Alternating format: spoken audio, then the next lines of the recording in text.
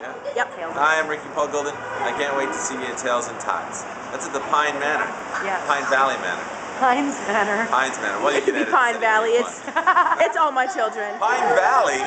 No, Pines Manor. Oh, I so. You live in Pine Valley. All right. Now I got it. I'll see you there. Thank you.